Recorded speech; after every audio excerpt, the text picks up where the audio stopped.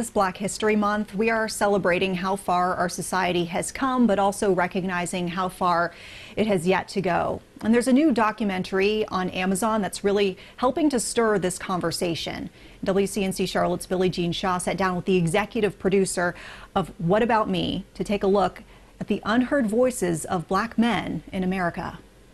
You know, it was James Baldwin who said that to be a black man in America is to live in a constant state of rage to have expectations of black men, um, expectations of strength, of courage, but have representations that never show that is a constant state of rage. Raw, unscripted, and unfiltered stories of the challenges black men face in this country are brought to light in Amazon Prime's new documentary, What About Me?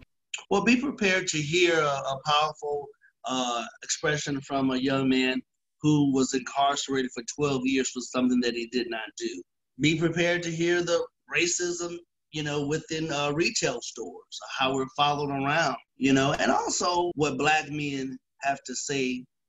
and what we think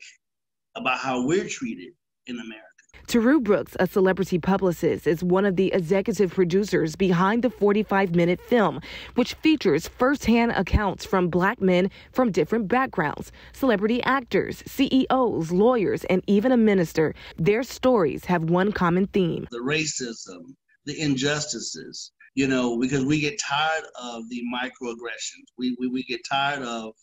uh, the mistreatment. Brooks and his co executive producers say they hope the documentary leaves viewers with a better understanding of all of the positive things black men add to society with the ultimate goal of dispelling stereotypes. And so, my attempt is to not